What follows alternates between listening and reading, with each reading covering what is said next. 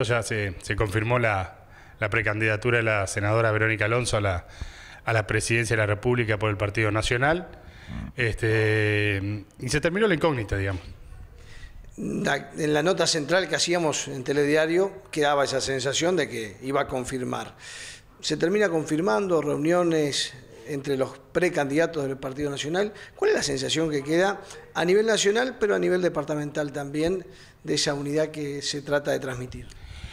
Sí, no, más bien se trata de transmitir, no, se transmite en hechos concretos. La, la reunión del otro día el, con los precandidatos me parece que fue un mensaje este, a toda la ciudadanía nacionalista y la que no es nacionalista también, en que cada uno tiene su, su forma de hacer política y de pensar, pero en realidad todos estamos unidos en pos de, de un, de, un, este, de un objetivo mayor que es la victoria del Partido Nacional, ¿verdad?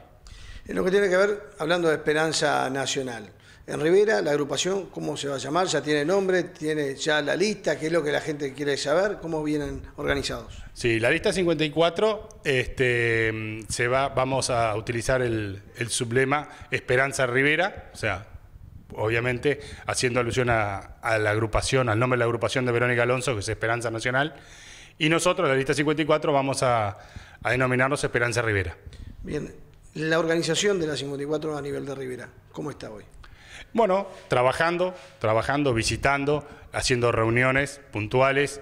Este, el 11, el 11 de, agosto tenemos un, el primer congreso de, de, Esperanza Nacional en Durazno, de lo cual vamos a ir, por supuesto, de la lista 54.